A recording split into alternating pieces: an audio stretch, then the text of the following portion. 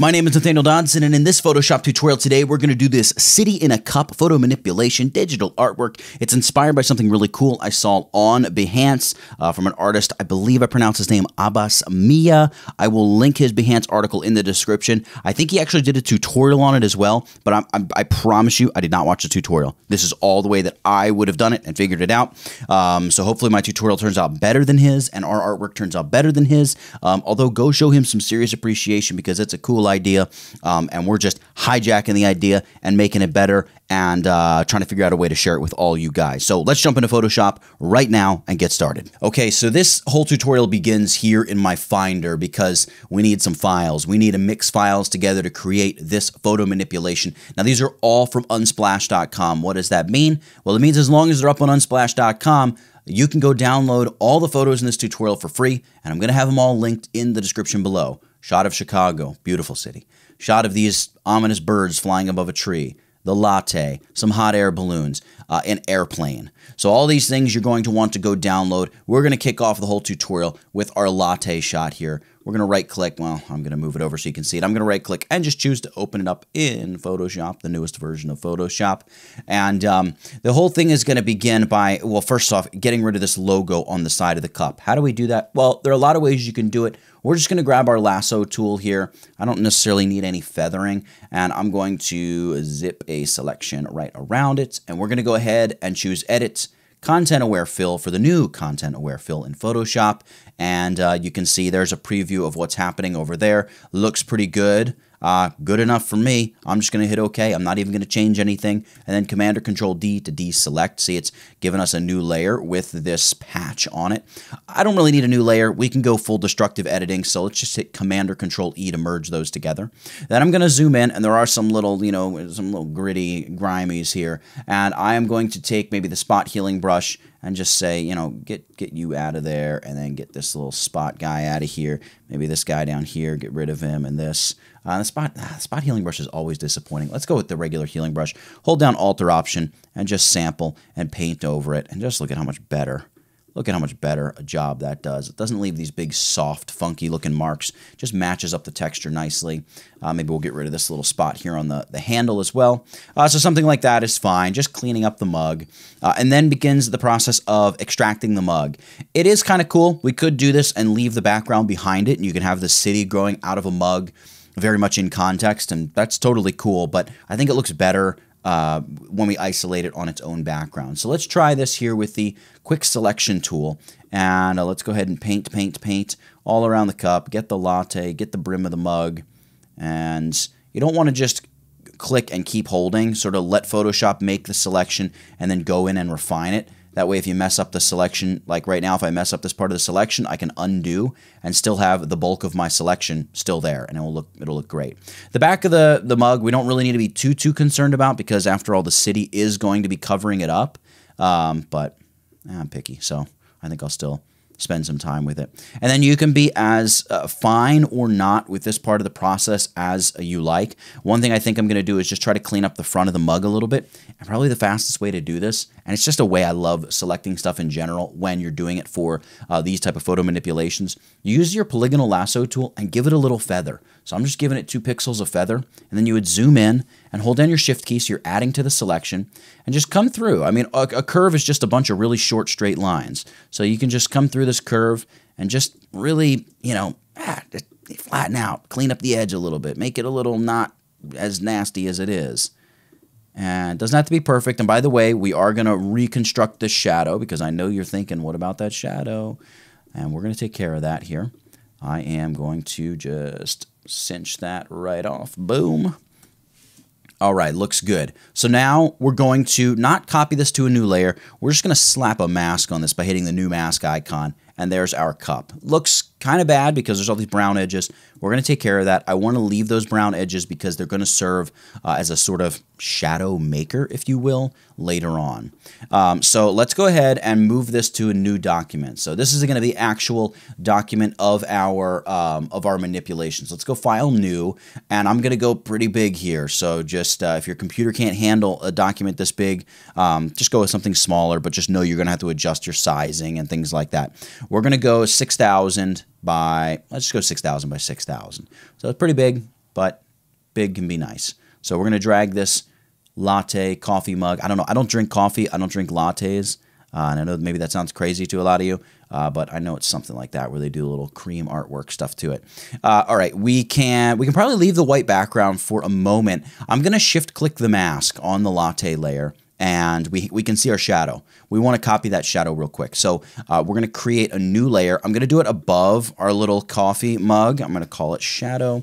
And then obviously we'll drag it beneath the mug when we have our shadow created. So we'll go elliptical marquee and just drag out, eh, you know, a circle, an ellipse, something like that.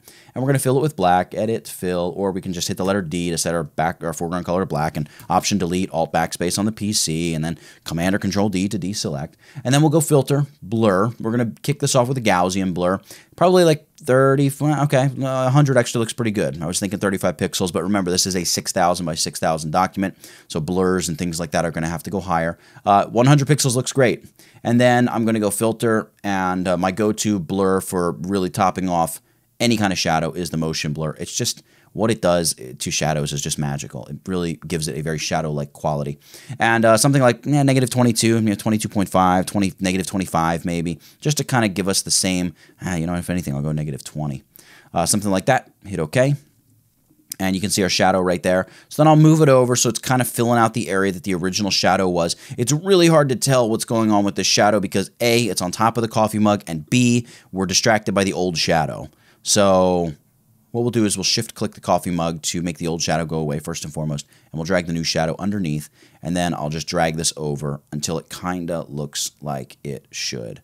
Let me just double check against the original image. Yeah, maybe I'll push it out a little further. But I think something like that, right? That's pretty close. Something like that will probably work for us. Maybe I'll nudge it down just a, a, hair. All right, so we've got the mug. We've got our shadow. If I shut off the, the white background, it looks even better, right? And we are going to be getting rid of the background because we're going to build a, a, fresh background. In fact, let's click the lock icon and just delete the background too because we're going to be creating a new background for this here in a moment. And actually, that moment can be right now. So let's go new gradient fill layer. So let's go gradient. And uh, in the gradient fill dialog, we're going to create a new gradient here. Um, so I'm going to just take, I don't know, any random gradient that I have. The point is, I want my dark handle here to be a saturation of zero, number one, because we want it to be a gray, and a brightness value of 95. Well, actually, let's make the brightness value 75 here, and then hit OK. And over here, this is going to be the lighter color. So again, saturation goes to zero, and the brightness value here will be 95. And we'll hit OK and OK. And I'm going to make this a radial gradient. Now, what we're getting is the light on the outside and the dark on the inside. I don't want that, so I'm going to go reverse. Now we have the light on the inside and the dark on the outside. And I can just simply drag the gradient wherever I want it to be. So I know I kind of want the brightness to be over here with the gradient. So I'll do that, and I want there to be less gray. So we're just going to scale the gradient up. Give me more light stuff. Make the gradient bigger and bigger and bigger. Ooh, that's way too much. Hold on. It didn't quite update as quickly as I expected it would. Let's bring this back to maybe 120, 250. Yeah, somewhere around 200 is going to give us kind of what we want, where we're just getting that nice shadowing around maybe like two sides of our square and not quite as much up here in the top right corner. All right, hit OK. There's our background. Of course, we put it on top of the shadow, so that's no good. Um, now, a regular gradient background is just a computer digitally generated piece of artwork. There's actually a little bit of banding in there that's probably coming through really strongly uh, in the in the tutorial. So let's try just converting our image to a 16-bit image. That can sometimes help in terms of getting rid of some of that banding. Um, in fact, I'm going to I'm going to try just reapplying the gradient fill altogether. So I'm going to save my gradient here. I'm just going to call this gradient gray and hit new. This is this is tutorial on the fly right here. Let's delete that layer. Let's go new gradient fill again. And we're going to now select our pre-made gradient to save us a little time. I'm going to zoom out a little. And we'll go through the same thing here. We know we need to reverse it. We know we need to set it to radial. We know we need to drag the light point over here. And the scale of about, what was it, 220? Something like that will work for us. Hit OK. Uh, and that's a little bit better. Uh, but uh, another way to help combat the banding is not only to work in a 16-bit image, but also, I'll drag this below the shadow again, create a grain layer. So uh, we're going to add some grain to this. A few different ways we can do this, uh, but what I'm going to do is simply right-click on the layer and choose to convert it to a smart object, and then we can go Filter, Camera Raw Filter, and we can add grain here in the camera raw dialog box when it decides to pop up for us. There we go. Let me make it a little bit smaller here so we can all see what's going on. And I'm going to hit the FX tab and I'll just choose to include some grain. Now I'm going to zoom way in on the background because I really want to see what this looks like. I want the grain to be bigger and sort of crunchier. Um, so we're going to go bigger with the grain and then just reduce the amount. We're just looking to introduce abnormality, right? We, we're never going to see a perfectly smooth gradient in real life. There's always going to be slight color variation and difference, and that's all that grain is doing. It's just giving it that texture, that feel of something that is way more real. All right, now we need to select the latte part of the top of our mug. We can try a few different ways of doing this. Uh, we could try hand painting it in. Let's just see what happens if we use the quick select tool first. I've got the, I'm on the latte layer here. Let's go for that and just see what that looks like. Um, that's actually not bad. Uh, what I'm going to do, I don't want to knock this out of the mug yet. I want to simply save this selection because we're going to use this in a few different areas. But we also want to see exactly what it looks like and how much of the mug is staying or going. So let's sort of preserve this selection in a hacky way by adding a hue saturation adjustment layer. So I just clicked on the half black, half white circle, go hue saturation, and uh, know, let's just radically change the color of the latte. Maybe crank up the saturation and maybe we'll make it, yeah, like pink. Pink is going to be very easy to see. And now we can see, yeah, there's a little bit of the brown stuff around the edges, but I think it's a good enough selection for us. Um, if anything, we could select the mask, go into the properties panel, and just feather the mask ever so slightly. Just give it a little blur on those edges, right? Maybe a little more blur than I'm thinking. Maybe something like that. About an 8 pixel blur. Looks like it's going to do some good things for us there. I'll just help blend it together a little bit, give it a softer transition. All right, we can shut off the hue saturation now. We'll get back to that later. I do, however, want to select the cup layer, and I'm just going to name the layer cup as well. We want to add a vibrance adjustment layer, this guy right here. We're going to add this and clip it to the cup layer. We can do that by hitting this little clip layer icon and just reduce the saturation uh, of the cup quite a bit. We kind of want to get rid of virtually all the color in the cup. We don't want we don't want there to be that distracting brown edge, right? And at this point you can see there is still this brown fringy edge on the front. So how do we get rid of that? Well, there's a few ways you can do it, but kind of probably the fastest way would be to command or control click on the layer mask, select the layer mask, grab a selection tool like the elliptical marquee. And what this is going to allow you to do is use your arrow keys to nudge the selection and just nudge the selection back kind of until you would be getting rid of the bulk of that, that darker stuff that you don't like. And then grab the brush tool, a nice soft edge brush, set the opacity of the brush to 100, and then you're just going to paint with black. So we could just paint away paint away some of that stuff. What we need to uh, make sure that we inverse our selection, inverse the selection, and then we can paint away whatever we think is just kind of sticking out like a sore thumb, right? There was just such a dark edge along the front there, and now there's this little tiny bit here that's sticking out that's going to be distracting, and I know it's going to bug me later on, so I'm going to go through and just flatten it out and just make it look right right? Now it just blends in with everything else. All right, something like that. And again, ignore the color of the latte because we're just desaturating the entire cup. And the next step is going to be to grab our Chicago photo here. I'm going to right click and just open this guy in Photoshop. And all we need to do here, well, the first thing I should say we need to do is select the sky and get rid of it. Hey, look, there's even a little airplane up there. I don't think we'll save it though. We can use our quick selection tool, probably, uh, but sometimes the problem with quick selection tool is it gets most of the sky, but also the tops of a lot of the buildings. Like you can see here, we're getting a lot of stuff there. So what you would need to do at this point, and what I usually do, is again, I go back to my trusty poly lasso tool and just a feather of two or three, and I would just hold down shift and go through and select all these building tops and just go through it. You pause the video at this point and just go through and make all your selections as, uh, as you see fit and just build out a nice selection of the skyline. And what you would do at this point is zoom in and go back to our trusty poly lasso tool. Actually, I I always think about it in terms of I'm not selecting the sky, but I'm selecting the buildings. So I know I did select the sky, but I usually go select inverse because now when I zoom in, I can say, all right, I need to add the top of this building. So with my poly lasso tool, just a little two pixel feather, I can simply hold down shift and just add this building and go through and, you know, just clean up the skyline as you see fit, adding, adding, adding, and uh, getting rid of anything that needs to be gotten rid of. And once I've done that, I can try masking it. So let's hit the mask button and that knocks away the sky and things look okay. Now I did realize I just cut off the top antennas of the Hancock Tower because that's the one thing I didn't uh, touch there in the mask. So I'm actually going to undo that and I'll zoom back in here. And again, just poly lasso tool with two pixels of, of, of adjustment and we can just zip right through here and at least get the bulk of these antennas up here feel like they're a pretty prominent feature of the tower. So kind of important to make sure we include them. Something like like that. I get kind of silent when I start focusing. So something like that's probably good for us. Uh, and then again, we'll hit that new mask icon, and there we have it. Nice soft selection of it. Doesn't have to be perfect at all, but just good enough. And the very, very edges of the city out here, I don't think we're really going to be using them, so I'm not super duper concerned about them. Now, at this point, because you spent all that time doing it, you may want to save this image with the mask, uh, just in case you need to come back to it. So Command or Control J to duplicate the layer, and then we want to right click on our layer mask and choose to apply the layer mask. That's going to sort of just cut all cut all the sky out of the image very destructively. Why are we doing this destructively? Well, because we really want to compress the skyline. So I want to move these buildings in a little bit closer because obviously the Hancock Tower here is going to be like the focal thing. We got the Willis Tower kind of peeking through back there, uh, and we'll move some of these buildings in as well. So let's zoom in on this side, use our lasso tool again, and I'm just going to try to follow the edge of that building and the edges of other subsequent buildings right? So you don't want to just come through here and slash and burn. You want to really come through and make sure you're getting the edges of buildings so that when you pull all this together, it doesn't look like a complete disaster, but instead it looks uh, cohesive. So I don't need to worry about buildings way down here quite as much because uh, they're going to be covered by the coffee mug.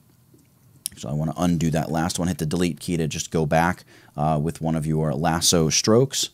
And let's bring this over here this way to about the edge of this building. And then we'll loop out, up, and over. So you can see I'm just picking edges of buildings. It doesn't have to be any one in particular. I'm kind of just, you know, I know I want to get this little building with the spire and this bigger tower, and then we got like three sort of high rises next to that. So now here's where the damage sort of begins. We just grab our move tool and we move this. So we can move it right over. Now, one thing you could do to make it a little bit more non-destructive is go layer new, new layer via cut. So it's going to pop that up onto its own layer. And then we can just shift it over. So I can say like, all right, the new edge of this building, whoops, let me uh, redo that. I could say, you know, the new edge of this spired building is going to be right here against this glassy edge. So I can move it right over, just like that. And then I could look at some of the other buildings, right? Like this building does not look correct right there. So I can reduce the opacity, find the edge of the building underneath it, and again, just use the lasso tool here. Just come through with the lasso tool and just hit the delete key. Just get rid of it. Crank the opacity back up. Now it kind of looks like it tucks in a little bit better. And I think everything else kind of works for us. I don't know how much this building is really going to be in the shot. Maybe we should just check on it real quick. Um, eh, you know, I think I think it's okay where it is. Uh, again, it's not perfect. Maybe just loop it up and around this little building here, just to kind of just to kind of tuck it in there. Whoop, wrong wrong layer. Oh no, it's the right it's the right layer. There's just nothing to go there. All right, so yeah, we'll just leave that like that. And then we repeat the process here. I'm just going to speed it up. Repeat the process on the other side with some of these tall buildings and just kind of pinch this skyline together a little bit uh, and give us a little bit, uh, uh, just a more compressed look at the skyline without actually distorting uh, the buildings using, you know, free transform or something like that. All right, and I think something like that is about what we want. We've just taken the Chicago skyline from from that, and we've just compressed it in a bit. So this center chunk obviously is what we're going to use.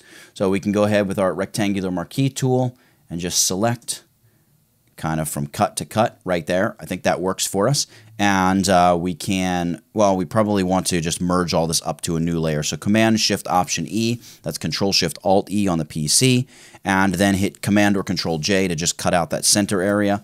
And now we are left with just this center cut of the compressed area of the skyline. So let's go ahead and drag this over into our composite here and it's going to say, look, our bit depth is different because we're working in the 16-bit image, and it's dragged the whole group over, so I must have selected the wrong layer, which I did. And we're going to go ahead and drag the image over. Same warning message. All right, and here we have it. And now what I'm going to do is just zoom in a little. We could artificially make the city bigger. I'm going to reduce the opacity a little just so we can kind of see the edges of the city and also the edges of the cup. And one of the things that I want to do right off the bat is kind of transform the city so it's almost leaning toward us a little bit more, right? The cup's kind of leaning toward us, the city's kind of leaning away from us. So let's go edit, transform, and I'm going to start with perspective, and I'm going to widen the top, and I'm going to pinch in the bottom, and then I'm going to right click and choose scale, and I'm going to hold down my Alt or Option key and, and my Shift key, and I'm going to pull it side to side a little bit, kind of something like that. Um, and I may actually make it a little bit taller too. Maybe something kind of like that will work for us. Go ahead and commit that change. And now you can see we, we obviously need to do some work in terms of masking this in. Now, I would say it would be uh, it would behoove you to kind of line up the edge of the latte with edges of buildings so we're not like cutting this building in half. So what I might do is just nudge this over right? Just so the edge of that building is right there at the edge of the latte. Now we know that we can do something like, all right, we're going to have this building come right out of here. It's going to shoot right up like that. Boom. I can hold down Alt or Option and hit the new mask icon. That'll just cut that away with the mask. Now, obviously, we have issues down here where the latte is showing. That's fine. And then over here on the other side, we're going to kind of live with what, we, what we've got. And I am, by the way, cutting the edge of the city on a slight angle. I don't know if you're noticing that. I'm cutting it on a slight angle just because I kind of like that effect. I'm going to move here. I'm looking at the edge of this building. That's what I'm cutting alongside of. And again, with that layer mask selected, we're just going to fill this with black. Black is our foreground color. Option delete or alt backspace on the PC, and you're good to go. All right, so we've got the buildings cut. The latte is not quite looking the way it should, but we're going to take care of this all in a second here. We're going to load that selection that we saved. Well, we can actually turn this layer opacity back up to 100. We're going to Command or Control click on this layer mask, go back to our layer for the city of Chicago, go to the layer mask, I'm sorry. So we have the layer mask selected. See the white tick marks around the mask. We'll zoom in and we have the inside part of this selected. So I'm going to grab my brush tool and I am going to paint with white because I want to reveal the city here and just make sure that the city is still showing all through here, right? That's first and foremost. All right, I'm going to come over here, do the same thing here.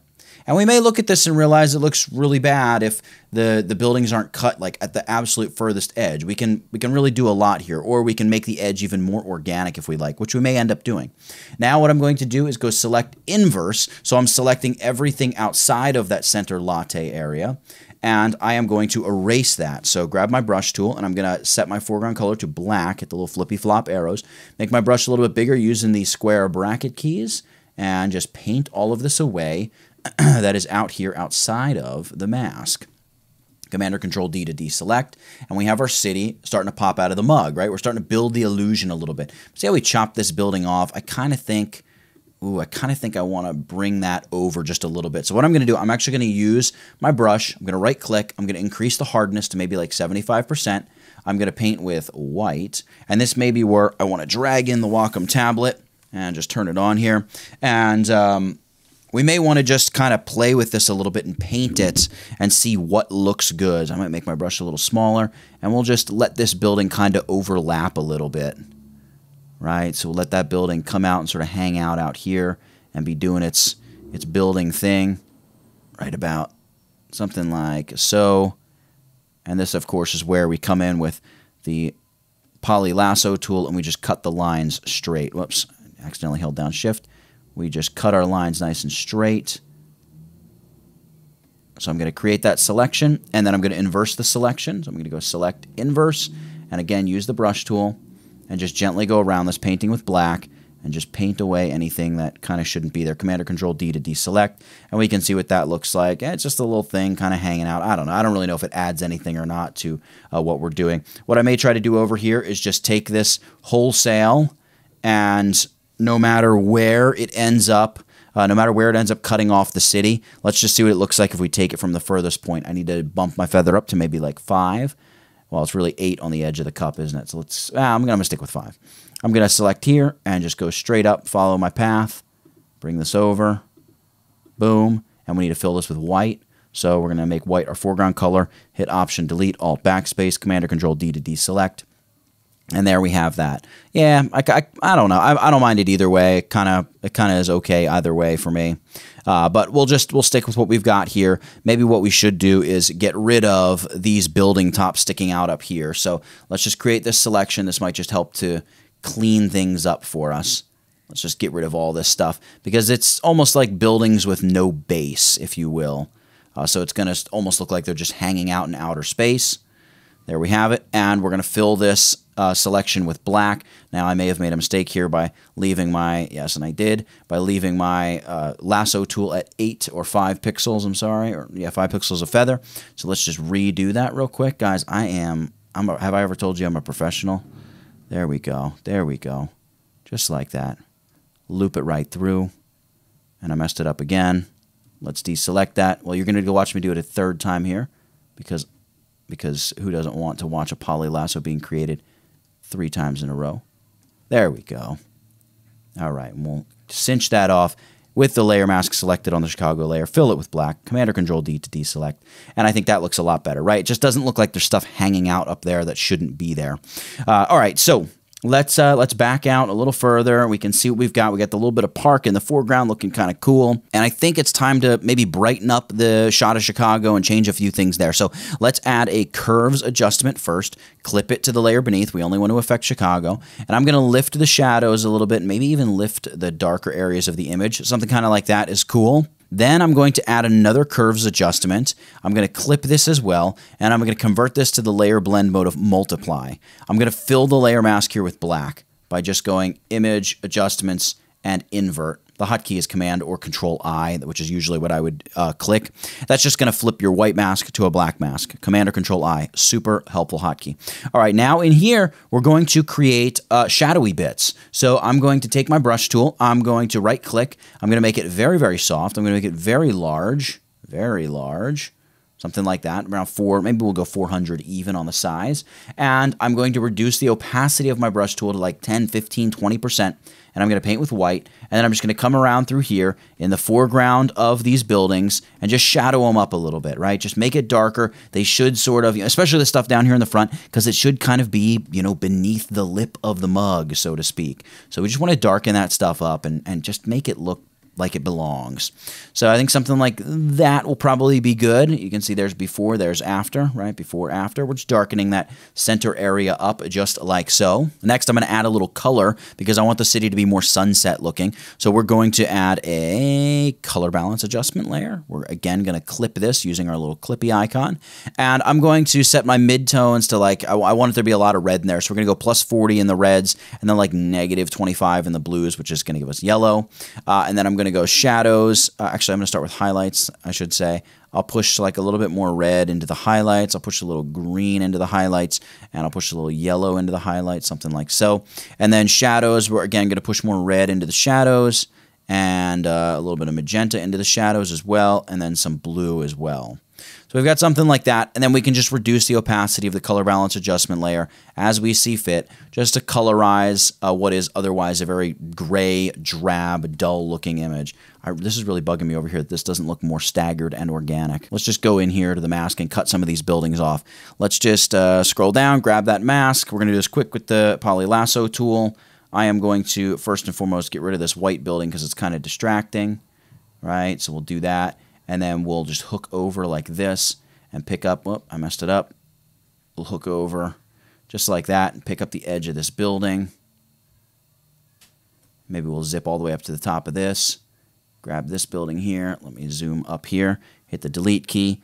And then we're going to sort of create a fake edge on this building. So we're going to pretend like this building is only that big. Cinch off our selection and just fill this with black. So set black as your foreground color, option delete, alt backspace, command or control D to deselect. And it's just going to give us, I don't know, just a slightly more natural look. And over here, this almost too is a little bit too blurry. A little bit too blurry. I know we were trying to match the blur on the on the, the front part of the cup, but it's just bugging me a little bit. So we'll just kind of clean that up, and we could fade it together a little bit better, but we're not going to. We're going to leave this just like that. Okay, so the next step is going to be create a new layer, and we're going to call this, oh, I'm, I'm creating it in context of the other clipped layers. Let's select our top layer here and create a new layer, and I'm going to call this shadow inner or something like that. And I'm going to command or control click on our latte selection that we made before. So I told you it was going to be useful.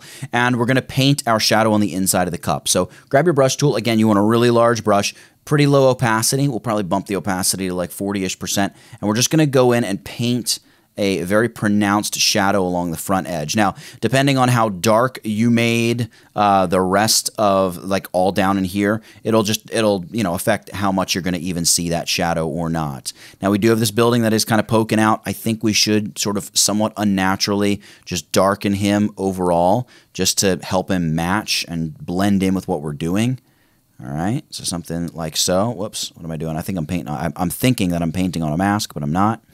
Let's deselect that. I'm just going to use the smaller brush and just go over this just with one pass, just to kind of make it blend, something like that, just so it's not sticking out like a sore thumb, no pun intended.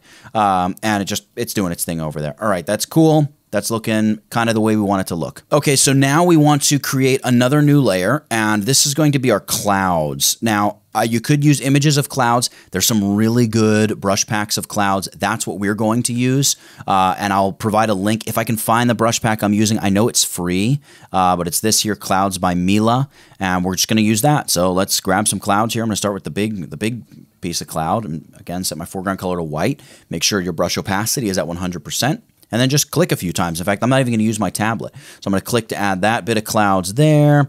Let's maybe add some clouds next to it over here. And you're just looking to build out, I don't know, just clouds that you would expect to see over a city. Uh, there is a mushroom cloud in here as well, but we definitely wouldn't want that. So we're going to avoid stuff like that. Uh, but how do I do this here? Maybe we'll throw a cloud there. There's our mushroom cloud. That would be a bad, bad one to put.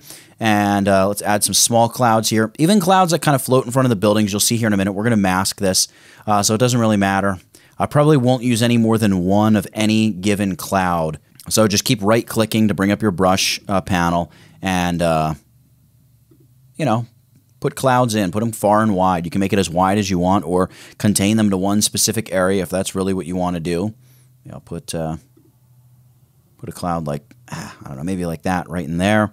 Again, like I said, we're going to mask this to uh, to our to our building, so you're not going to see this stuff. All right, that's probably enough when it comes to the clouds. Maybe I'll add one more, one one or two more, something like that up there, and then maybe another one down there. Maybe something like so. It's kind of cool. All right, now with this, all we need to do is command or control click on our buildings, but you can see here that it's also selecting the bits around the building. So we want to sort of intersect the selection with our layer mask that we've created. Whoops, and I just undid that. So let me go and choose redo and redo load the selection. Uh, so we want to hold down Command Shift Option and click on the layer mask. Oh, I just did it again. I did it again. Let me redo redo, redo, redo, bring up the selection. What is going on with me today?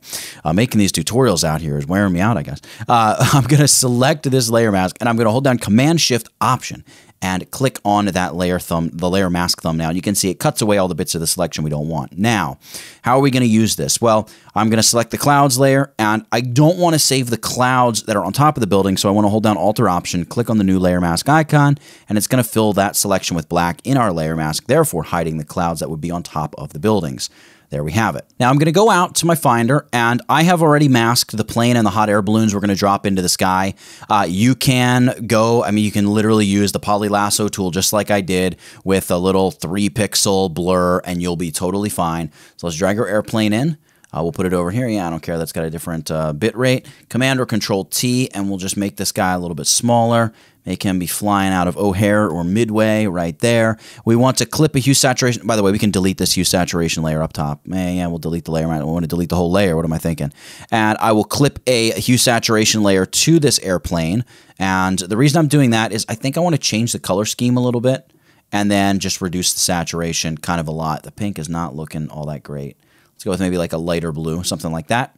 And I could darken or brighten it. Now, I do want to take my airplane. I'm just going to name this layer plane if I can spell plane correctly. I'm going to name the layer plane. I'm going to select the hue saturation and the plane layer. I'm going to drag these beneath the clouds, right? Because I almost want it to look like that plane is interacting with the clouds. And that'll help dictate the positioning a little bit too, by the way, because I don't want too much of the plane to be covered by the clouds, but I do definitely want it to be, you know, in there doing its thing. All right, next I'm going to go back to my Finder. We're going to grab the masked hot air balloons. And again, I selected these the same way, just a, just a slight blurred poly lasso tool. And the reason I'm not being super precise with them, if I'm being honest, is because I know that when we drag them here into our composition, they are going to be very, very small. So they start out being pretty big and then they're going to be tiny. So the clouds, we want these to be here underneath the the cloud I'm sorry the balloons we want to be underneath the clouds. I think we may end up changing that. Commander control T to free transform. Let's just scale this down and make these balloons kind of small. And we'll put the balloons out over here. That's kind of cool and yeah, I don't know. Maybe I'm, I might actually want these in front of the clouds. There, remember, the hot air, hot air balloons don't fly uh, quite as high as airplanes do. Maybe I'll reduce the opacity of the hot air balloons just a little bit, just to kind of make some of those clouds see through a little bit and also tone down the color. You know what? I'll probably clip a hue saturation adjustment to these guys as well. So clip that in there and we can look at this. And I think all we're going to do is just reduce the saturation a little bit. I hate to do it because it's got all these bright, beautiful colors, but it's just kind of sticking out like a sore thumb. So we uh, we want to we want to change that. All right, what's going on here? You know, we're going to close the properties panel. We'll get back to it later. I'm going to double click and say balloons, and there's our balloon layer. Uh, next, we want to add just a flock of birds because you always see pigeons flying around in the city. I thought it would be a nice touch uh, so we are going to open up another Unsplash image, not the city of Chicago. We're going to uh, open up these birds. So I'll right click and choose open with Photoshop. And this is going to be kind of quick and easy. We're going to select these birds out of the sky. Here's how we're going to do it. We're going to use a channel based selection because they're just silhouette blackbirds against a pretty light sky. So we're going to drag a selection over just the birds and I am going to pop them up onto their own layer, Command or Control J. Then I'm going to unlock the background layer and I will delete it. Now what we're going to do is go image trim, and we're going to choose to trim based on transparent pixels. Hit OK. It's just going to knock us down to just the birds. And now we're going to go window, and I'm going to open my channels panel. Here in the channels, we have a bunch of different channels. We can probably choose any of them because it's a black and white image. Drag it down and choose to the new channel button. And on this blue copy channel, you don't want to work on your original channels. You'll mess up your image, uh, or not mess it up, but you'll you'll make an artistic expression all over your image. Uh, we're going to go blue copy here, and I'm going to say image adjustments levels. And what we want to do is make the birds solid black and the sky behind them solid white. Once we do that, we'll have a great perfect selection very quickly and easily. Hit OK. And we want to inverse this because the white is what gets selected. So Command or Control I, and there is our selection of the birds. So all I need to do, is click on the RGB uh, composite channel, and then Command or Control click on the blue copy channel, and I can close my channels panel now. Over here on our layers panel, we have our layer 1 selected. Simply hit Command or Control J, and we've popped all the birds up to their own layer. There we have it. We can drag these birds over to our composite, drop them into the sky above the city, and resize. So I'm going to name the layer birds, Command or Control T, and we're going to just, I don't know, we'll uh, throw them up here. I don't know. They can go wherever. Make them as big or small as you want. I don't want them to look like bats, so I'm going to make them a little bit bigger than that. There we go. Something like that is cool. Okay, so next we're going to create a sun that sits in the sky and shines through the buildings. So we're going to create a new layer here, and I'm going to call this sun. I'm going to grab my brush tool. I'm going to right click. We're going to go with a, just a big soft edged brush. So maybe the big 500 uh, pixel bopper. We're actually going to make it more like 1250, I think. And I'm going to click once, twice, something like that. Hit Command or Control T even and make it bigger. So I'm going to make it like that big. And I'm going to duplicate this, Command or Control J, shut off the top layer, select the bottom layer, hit Command or Control U to open up hue saturation, tick on colorize, reduce the lightness, boost the saturation, and make it like orange, orange, reddish orange, whatever color you think the sun should be. Turn on the white part of the layer, hit Command or Control T. We're going to hold down our Alter Option key and just make the center of the sun. This is going to be the real glowing hotspot center of the sun. Make it a little smaller. Select the sun layer now, and we're going to give it the screen blend mode. And then the top sun layer, we're going to give it the linear dodge add blend mode, which does nothing until we double click on the layer open up the layer style dialog box and shut off transparency shapes layer. So shut that off. And then we're going to reduce the fill opacity just until we get a nice sun burst explosion happening through the city. And then we'll reduce the overall opacity of the screen sun layer as well. So just tweak these until you, you get something that looks kind of like you want it to look. So before the sun, after the sun, uh, just going to give us this burst of light and orange color through our uh, through our composite here. And at this point, it's just a matter of doing some color grading and playing with some things. I want to show you a quick color grading trick. So I'm going to add a color lookup table above all this. Let's go color lookup table, and uh, I'm going to load a 3D LUT. There's all these ones that are included with Photoshop. I'm going to go with the Kodak 5218, or um, yeah, Kodak 5218 uh, 2395. I think this is the one that I like for this. Yeah, something like that. Eh, you know, I might try another one here. Let's try the Fuji F125 2395. Yeah, that's a little better, a little warmer. I'm going to close this panel. And uh, I like what this is doing to everything except it's we're kind of losing our clouds. It's blowing out some of the highlights. So we can double click on the color lookup table again to open color, uh, the layer style dialog box.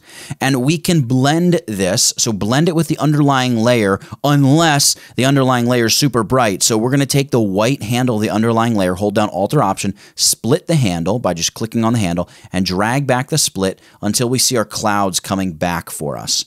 So just drag it back. Well, my, I didn't split my handle well there.